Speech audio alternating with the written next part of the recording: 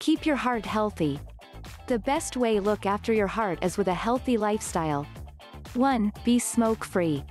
Being smoke-free is one of the best things you can do to protect your heart. 2. Manage your blood cholesterol. Cholesterol is a fatty substance carried in your blood.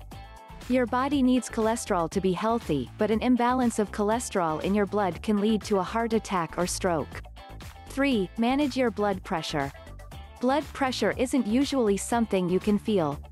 If it's too high, it needs to be treated. 4. Manage diabetes. It's important to manage your diabetes to help prevent a heart attack or stroke. 5. Be physically active. Regular, moderate physical activity is great for your heart health. It's never too late to start and get the benefits. It's also important to sit less during your day and break up your sitting time. 6. Achieve and maintain a healthy weight. Maintaining a healthy weight can reduce the risk of heart disease and other health problems. It can help to know your body mass index and waist measurements and what these mean. 7. Enjoy a variety of nutritious foods. Eating a varied diet of healthy foods can help with your weight, blood pressure and cholesterol. There are also specific changes you can make to your diet to help prevent heart disease. Eat less salt. Reducing your salt intake is good for your blood pressure.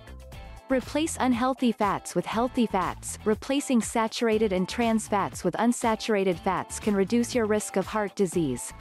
Limit alcohol. 8. Look after your mental health. We know that there can be a greater risk of heart disease for people who have depression, are socially isolated or do not have good social support. Having a good social life with family and friends can help.